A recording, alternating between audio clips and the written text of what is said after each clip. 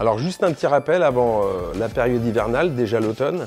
Pensez bien à toutes les choses importantes, pneumatiques, balais d'essuie-glace, éclairage, vu que la nuit va tomber de plus en plus vite, et pour votre sécurité et pour la sécurité des gens que vous transportez.